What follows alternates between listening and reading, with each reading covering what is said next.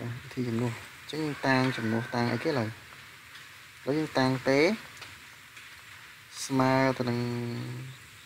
បាទស៊ីននេះជាប់សេគុនច្រើនជាងគេតាំងស៊ីនទៅ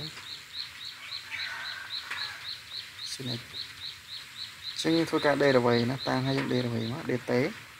database ស៊ីនបាទខ្ញុំនិយាយពី database តិចមកបើសិនយើងមានអនុគមមួយស្មើស៊ីនចឹងយើង database វាទៅ វាស្មើនឹងកោសណាហ្នឹងហើយស្មើកោសណាចឹងបានកោស x dx ណាចឹងចំនួនខាងលើវិញមកយើងបានអីគេអាយរបស់យើងហ្នឹងបាទយើងបានឥឡូវយើងសេម្ដងទៀតទៅខ្ញុំសូមសរសេរស៊ីនស្រគុណ2021មុនណា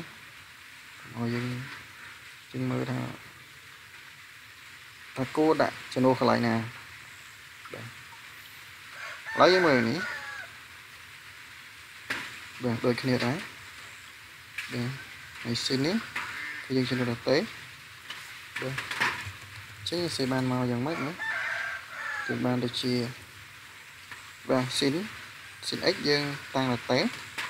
ចឹងបានតេសកុន2000ទី1 កុស x dx ស្មើទៅនឹង dt ណាចឹងយើងចំនួនដល់ dt ចឹងធ្វើការអង្គទៅក្រាលអញ្ញាតេម្ដង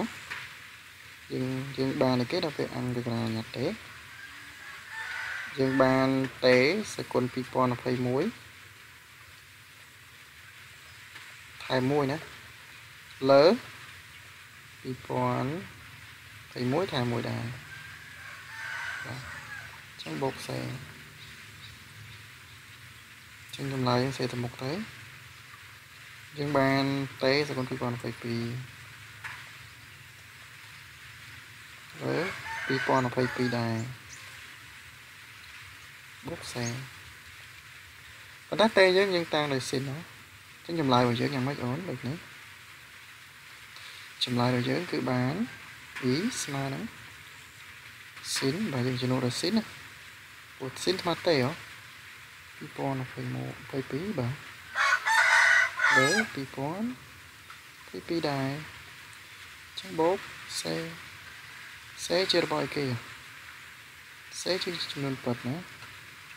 បាទចំនួនថៃណាមួយបាទអញ្ចឹងចម្លើយរបស់យើងគឺប៉ុណ្ណឹងណាអូខេ